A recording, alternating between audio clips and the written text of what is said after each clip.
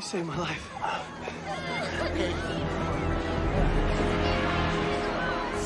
Thanks, Ben.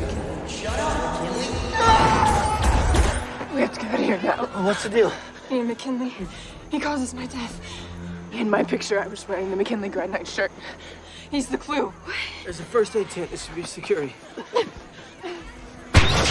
the fuck out of here, McKinley!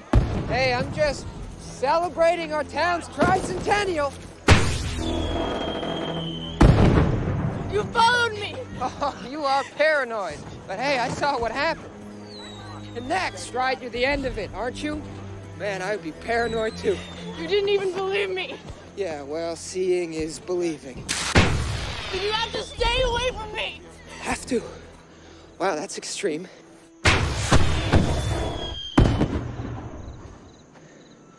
Oh, no way. Do I cause your death? Just like you caused Erin's? What, what, what, what, what, what? What? You have a vision? Was I in it? Was I, was I in a picture? Just tell me how to start it off. Let's get this over with. You'll save me if you just stay away. Then it'll all be over. What do I care? It skipped me. For me, it is over. I'm not dying. I'm not dying!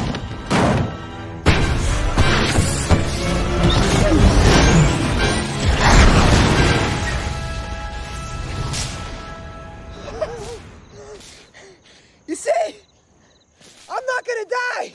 It's you, Wendy. You're dead.